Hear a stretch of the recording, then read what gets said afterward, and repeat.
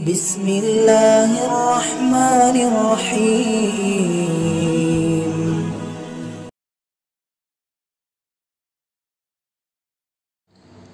السلام عليكم ورحمة الله وبركاته بسم الله الرحمن الرحيم الحمد لله رب العالمين والصلاة والسلام على أشرف المرسلين وعلى آله وصحبه أجمعين أما بعد ബഹുമാനികളായ വിശ്വാസികൾ voice of റഹ്മാനിയെയും ഇന്ന് നിങ്ങളുമായി സംവദിക്കാനുള്ളത് തസ്ബീഹ നിസ്കാരത്തെക്കുറിച്ചാണ്. തസ്ബീഹ നിസ്കാരം എന്നുള്ളത് വളരെ പുണ്യമുള്ള സുന്നത്തായ ഒരു നിസ്കാരമാണ്. ബഹുമാനപ്പെട്ട ഫുഖഹിന്റെ കിതാബുകളിൽ യാനത്തു തോലബീൻ അടക്കമുള്ള കിതാബുകളിൽ അതിന്റെ ശ്രേഷ്ഠതയെ വിവരിക്കുന്നത് നമുക്ക് കാണാൻ സാധിക്കും. ബഹുമാനപ്പെട്ട ഇക്രീമ റബി അള്ളാഹു താലാഹു റിപ്പോർട്ട് ചെയ്തൊരു ഹദീസിൽ ഇബിൻ അബ്ബാസ് റബി അള്ളാഹു താലാഹുവിനെ തൊട്ട് റിപ്പോർട്ട് ചെയ്തൊരു ഹദീസിൽ കാണാം. അന്നഹു സല്ലാഹു അലഹി വസല്ലം കാലതിൽ അബ്ബാസ് ബിൻ അബ്ദുൽ മുത്തലിബ്.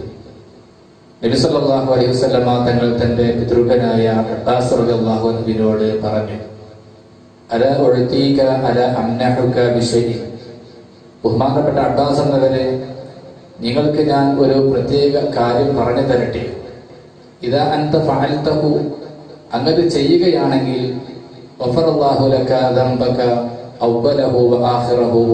ഖദീമഹു വഹദീസഹു വസിറഹു ആ ഒരു കാര്യം നിങ്ങൾ പതിവാക്കുകയാണെങ്കിൽ അതല്ലെങ്കിൽ നിങ്ങൾ ചെയ്യുകയാണെങ്കിൽ നിങ്ങളിൽ നിന്ന് ഏത് വിധേന വന്ന ദോഷങ്ങളും അള്ളാഹു പുറത്തു തരും. ഷഫീബിന റസൂലുള്ളാഹി സല്ലല്ലാഹു അലൈഹി വസല്ലം. ബഹുമാനപ്പെട്ട അബ്ബാസ് തങ്ങളോട് എന്നിട്ട് റസൂലുള്ള ആ നിസ്കരിക്കുന്ന ആ നിസ്കാരത്തിന്റെ പവിത്രതകൾ വിശദീകരിച്ചു കൊടുക്കുക. ആ ഒരു കാര്യം അത് തസ്ബീഹ നിസ്കാരമാണ്. എങ്ങനെയാണ് ആ നിസ്കാരം നിർവഹിക്കേണ്ടത് എന്ന് ബഹുമാനപ്പെട്ട നബി തങ്ങൾ പറയുന്നു. എന്നിട്ട് ആ നിസ്കാരത്തിന്റെ രൂപം ഇങ്ങനെ പറഞ്ഞിട്ട് അവസാനം റസൂറുള്ള പറയാണ് എല്ലാ ദിവസവും ഒരു തവണ നിങ്ങൾക്ക് അത് നിർവഹിക്കാൻ പറ്റുമെങ്കിൽ നിങ്ങൾ അത് ചെയ്യണം. ഫഇല്ലം തസ്തത്യ ഇനി അങ്ങനെ എല്ലാ ദിവസവും നിർവഹിക്കാൻ പറ്റൂല എങ്കിലോ ഫഫി കുല്ലി ജുമഅത്തിൻ മറ. എല്ലാ ആഴ്ചയിലും ഒരു പ്രാവശ്യം എല്ലാ വെള്ളിയാഴ്ചയിലെങ്കിലും ഒരു പ്രാവശ്യം അത് നിർവഹിക്കുക. പൈലം തഫഅൽ അതിനും നിങ്ങൾക്ക് ചെയ്യാൻ സാധ്യമല്ല എങ്കിൽ ഫഫീ കുല്ലി ശഹരിൻ മറ. എല്ലാ മാസത്തിലും ഓരോ പ്രാവശ്യം നിങ്ങൾ നിർവഹിക്കണം. പൈലം തഫഅൽ ഫഫിസ്സനത്തി സനതി മറ. ഇനി അതിനും സാധ്യമല്ലെങ്കിലോ ഓരോ വർഷത്തിൽ ഒരു തവണയെങ്കിലും നിങ്ങൾ അത് നിർവഹിക്കണേ എന്ന് ബഹുമാനപ്പെട്ട അബ്ബാസ് ബിൻ അബ്ദുൽ മുത്തലിബ് റളിയല്ലാഹു അൻഹുവിനോട് മഹാനായ റസൂലുള്ളാഹി സ്വല്ലല്ലാഹു അലൈഹി വസല്ലം തങ്ങൾ പറഞ്ഞതായിട്ട് കാണാൻ സാധിക്കും. ഈ ഹദീസിന്റെ ഈ ഹദീസ് പിടിച്ചുകൊണ്ട് നമുക്ക് ആ നിസ്കാരം നിർവഹിക്കൽ വളരെയേറെ സുന്നത്താണ് എന്ന് ബഹുമാനപ്പെട്ട പുഹാവ് പറയുന്നു. ആരെങ്കിലും ഈ ഹദീസിനെ നിസ്സാരവൽക്കരിക്കുകയാണെങ്കിൽ ബഹുമാനപ്പെട്ട മുഹഖീഖീങ്ങളായ ഫുഖഹാക്കൾ ചിലർ പറയുന്നുണ്ട്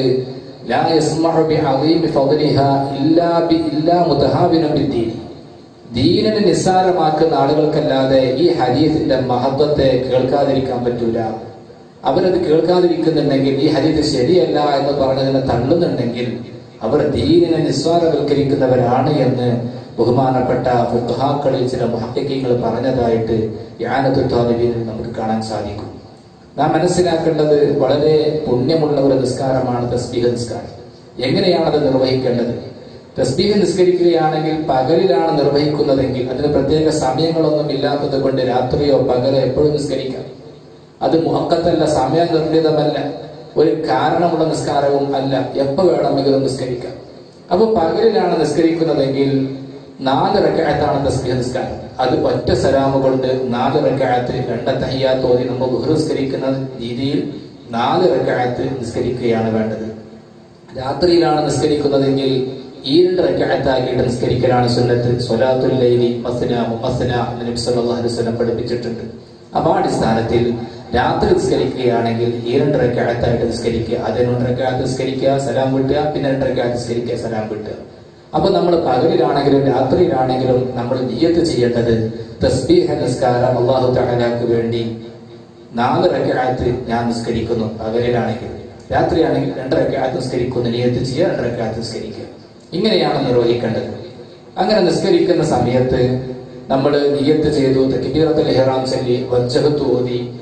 വജ്ജകത്ത് ഓതിയതിന്റെ ശേഷം ഫാത്തിഹ ഓതുന്നു. ഫാത്തിഹയ്ക്ക് ശേഷം പതിനഞ്ച് തവണ സുബ്ഹാനല്ലാഹി വൽഹംദുലില്ലാഹി വലാ ഇലാഹ ഇല്ലല്ലാഹു വല്ലാഹു അക്ബർ എന്ന ദിക്ർ ചെല്ലുക എന്ന തസ്ബീഹ് ചെല്ലുക അതിനുശേഷം ഒന്നാമത്തെ റക്അത്തിൽ അൽഹാഖുമുത്തക്കാസുർ എന്ന സൂറത്ത് ഓതുക. എന്നിട്ട് റുക്കോഴിലേക്ക് പോവുക. റുക്കോഴിൽ സാധാരണ ചെല്ലുന്ന സുബ്ഹാന റബ്ബിയൽ അദീം ബിഹംദിഹി എന്ന മൂന്ന് തവണ ചെല്ലുന്ന ദിക്റിന്റെ ശേഷം ഇതേ ദിക്ര സുബ്ഹാനല്ലാഹി വൽഹംദുലില്ലാഹി വലാ ഇലാഹ ഇല്ലല്ലാഹു വല്ലാഹു അക്ബർ എന്ന തസ്ബീഹ് പത്ത് പ്രാവശ്യം ചെല്ലുക. ഈറ്റിദാലിലേക്ക് വരിക. ഈറ്റിദാലിൽ സാധാരണ ചെല്ലുന്ന ദിക്റിന്റെ ശേഷം ഈ പറയപ്പെട്ട തസ്ബീഹ് പത്ത് പ്രാവശ്യം സുജൂദിലേക്ക് പോവുക. സുജൂദിലും അതുപോലെ സുജൂദിലെ ദിക്റിന്റെ ശേഷം പത്ത് പ്രാവശ്യം ഇടയനിരുത്തത്തിലേക്ക് വന്നാൽ അവിടെയും രണ്ടാം സുജൂദിലും അതുപോലെ പിന്നെ ആ രണ്ടാമത്തെ റക്കാറ്റിലേക്ക് എഴുന്നേൽക്കുന്ന സമയത്ത് നാം സുജൂദിൽ നിന്ന് എഴുന്നേറ്റ് ചെറിയൊരു ഇരുത്തായിരിക്കും ഇസ്തിറാഹത്തിന്റെ ഇരുത്തം എന്ന് പറയും ആ ഇരുത്തത്തിൽ അവിടെ ഇരുന്നിട്ട് പത്ത് പ്രാവശ്യം ഇതേ ചെല്ലുക തസ്ബീഹ് ചെല്ലുക. എന്നതിന്റെ ശേഷം ഖിയാമിലേക്ക് പോവുക. എന്നിട്ട് പിന്നെ രണ്ടാമത്തെ റക്കാത്തിൽ ഫാത്തിഹ ഫാത്തിഹയ്ക്ക് ശേഷം വീണ്ടും പതിനഞ്ച് പ്രാവശ്യം. ഇത് രണ്ടാമത്തെ റക്കാത്തിൽ ഓതേണ്ട സൂറത്ത് വൽ ലഫീ ഖുസ്ർ എന്ന സൂറത്താണ്. അത് കഴിഞ്ഞ് റുക്കുവിലേക്ക് പോവുക അങ്ങനെ നേരത്തെ ചെയ്തതുപോലെ ചെയ്യുക. നേരത്തെ ഇസ്തിറാഹത്തിൽ നമ്മൾ ചെയ്ത ദിക്ർ ആ തസ്ബീഹ് അത്തഹിയാത്ത് ഓതുന്നതിന് മുമ്പായിട്ട് അത്തഹിയാത്ത് എന്നതിന് ശേഷം ചെല്ലുക അത്തഹിയാത്ത് ഓതുക പിന്നെ മൂന്നാമത്തെ റക്കായത്തിലേക്ക് എഴുന്നേൽക്കുന്നുണ്ടെങ്കിൽ നേരത്തെ പോലെ ചെയ്യുക. രാത്രിയാണ് നിസ്കരിക്കുന്നതെങ്കിൽ അത്തഹിയാത്ത് ഓതി സലാം വിട്ടുക പിന്നെ രണ്ടരക്കാലത്ത് കൊണ്ട് നിസ്കരിക്കുക. ഇങ്ങനെയാണ് തസ്ബീഹ് നിസ്കരിക്കേണ്ട രീതി. ഇത് അതിന്റെ ഒരു രീതിയാണ്. ഇനി നമ്മൾ നേരത്തെ ഇസ്തിറാഹത്തിന്റെ ഇരുത്തത്തിൽ പത്ത് പ്രാവശ്യം തസ്ബീഹ് ചൊല്ലിയിട്ടുണ്ട്. അവിടെയുള്ള തസ്ബീഹിനെ ഒഴിവാക്കി അതും കൂടെ ഖിയാമിൽ ചെയ്യുന്ന ഒരു രീതി ബഹുമാനപ്പെട്ട ഫുഖഹാവ് പറയുന്നു. അതായത് നമ്മൾ തസ്ബീഹ് നിസ്കരിക്കാൻ ഒരുങ്ങുമ്പോൾ നിയത്ത് ചെയ്തു തക്ബീറത്തുൽ ഇഹ്റാം ചൊല്ലി വജ്ജഹത്ത് ഓതി വജ്ജഹത്തുവിന്റെ ശേഷം പതിനഞ്ച് പ്രാവശ്യം തസ്ബീഹ് ചൊല്ലുന്നു. എന്നതിന് ശേഷം ഫാത്തിഹ ഓതുന്നു. ഫാത്തിഹയ്ക്ക് ശേഷം വീണ്ടും പത്ത് പ്രാവശ്യം തസ്ബീഹ് ചൊല്ലുന്നു. പിന്നെ സൂറത്ത് ഓതുന്നു റുക്കൂഴ് ഏറ്റിദാൽ സുജൂത് ഇടയിലിരുത്തം രണ്ടാമത്തെ സുജൂത്. പിന്നെ അതിൽ നിന്ന് അടുത്ത റക്കായത്തിലേക്ക് നമ്മൾ എഴുന്നേൽക്കുന്നു. അപ്പൊ നേരത്തെ ഇരുന്ന ആ ഇസ്തിറാഹത്തിന്റെ ഇരുത്തം സാധാരണ പോലെ ഇരുന്ന് അവിടെ തസ്ബീഹ് ചെല്ലാതെ അടുത്ത റക്കായത്തിലേക്ക് എഴുന്നേൽക്കുക. അപ്പൊ ഇസ്തിറാഹത്തിന്റെ ഇരുത്തത്തിൽ ചെല്ലേണ്ട തസ്ബീഹിനെ ഖിയാമിൽ നമ്മൾ ചെല്ലിയത് കൊണ്ട് പിന്നീട് അവിടെ കൊണ്ടുവരേണ്ടതില്ല. ഇതുപോലെ അത്തഹയ്യാത്തിലും കൊണ്ടുവരേണ്ടതില്ല. അപ്പൊ ഈ രീതിയിലും വേണമെങ്കിൽ തസ്ബീഹ് നിസ്കരിക്കാം. അതും തസ്ബീഹ് നിസ്കാരത്തിന്റെ രൂപം പറയുന്നിടത്ത് ബഹുമാനപ്പെട്ട ഫുഖഹാവ് വ്യക്തമാക്കിയിട്ടുണ്ട്. ഇനി ഏതെങ്കിലും ഒരു റുക്കിനിൽ ഒരാൾ തസ്ബീഹ് മറന്നുപോയി. ഉദാഹരണം എഴുത്തിദാലിന്റെ എഴുത്തിദാലിൽ സാധാരണ ചെല്ലുന്ന ദിക്റ് ചെല്ലതിന്റെ ശേഷം തസ്ബീഹ് ചെല്ലാതെ ഒരാൾ സുജൂദിലേക്ക് പോയാൽ പിന്നെ ആ എഴുത്തിദാലിലെ തസ്ബീഹിനെ സുജൂദിൽ മടക്കി കൊണ്ടുവരേണ്ടതുണ്ടോ അങ്ങനെ ചെയ്യേണ്ടതില്ല. സുജൂദിൽ ചെല്ലേണ്ട പത്ത് തസ്ബീഹ് മാത്രം ചെല്ലിയാൽ മതി. എവിടെയെങ്കിലും ഏതെങ്കിലും ഒരു റുക്കിനിലായിട്ട് ചെല്ലേണ്ട തസ്ബീഹ് മറന്നു പോയാൽ മറ്റൊരു സ്ഥലത്ത് അത് മടക്കി കൊണ്ടുവരേണ്ടതില്ല എന്ന് ബഹുമാനപ്പെട്ട ഫുഖഹ പറയുന്നുണ്ട്. അപ്പൊ ഇതാണ് തസ്ബീഹ് നിസ്കാരം. ഇത് കൃത്യമായി തസ്ബീഹ് നിസ്കരിക്കുന്ന ഒരാൾ എല്ലാ ദിവസവും തസ്ബീഹ് നിസ്കരിക്കാറുണ്ട്. അയാൾ ഒരു ദിവസം എന്തോ കാരണത്താൽ നിസ്കരിക്കാൻ വിട്ടുപോയി.